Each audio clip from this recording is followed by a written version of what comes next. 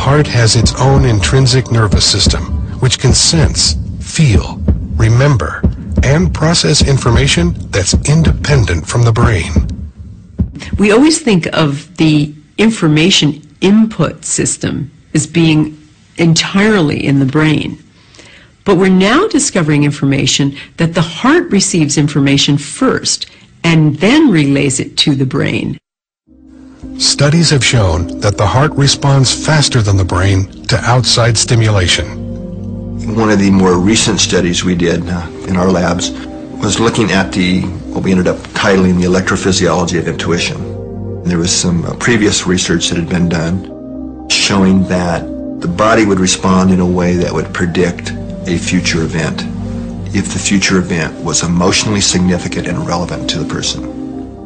Participants were attached to sensors to record their brainwave activity, heart activity, and heart-brain interactions. A person would be sitting in a computer, push a button, and then we're recording physiological data, and six, eight seconds later, you would be shown a, a photograph. Okay, and then the photograph would be from two opposite ends of the spectrum of emotional arousal. Participants were shown pictures of car accident victims, snakes attacking, and other disturbing images.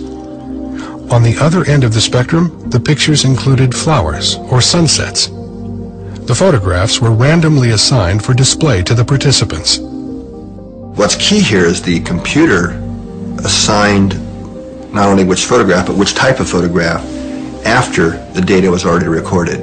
So it was absolutely impossible for the research subject, the experimenter, to have any kind of foreknowledge of what photograph it might be. The computer itself didn't even know.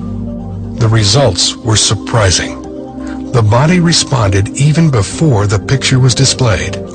What we found was that not only did the body indeed respond prior to the event, you know, the seeing the picture, in, in a way that would predict it, but it was the heart that responded first. The heart's response was not only faster, but the signal it sent to the brain varied depending on the emotional content of the picture looking at the signals that the heart was sending to the brain, that the heart literally sent a different message to the brain, depending on what the future picture was going to be. Then you saw a brain response. Then you saw the body response, which is where it then became conscious. So the flow of, of this in, uh, what, intuitive information is heart, brain, body, and then you have to have the body response for it to become consciously aware of it. What these experiments reveal is changing our basic understanding of how the human body functions. It appears as though the heart and brain, later, have access to a field of information not bound by time and space.